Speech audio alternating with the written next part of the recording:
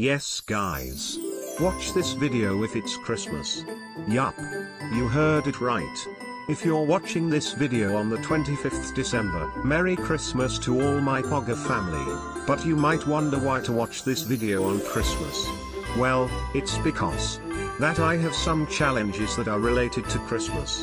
But before we begin, can you like, subscribe, and comment Merry Christmas? Thank you. Level 1. How fast can you figure out the missing letters? Level 2. How many reindeer does Santa Claus have? Level 3. I have hidden a Santa in this video, and you have to find it to get your gifts. You can rewind the video to find him. Don't forget to tell me in the comments, if you found your gifts. Merry Christmas.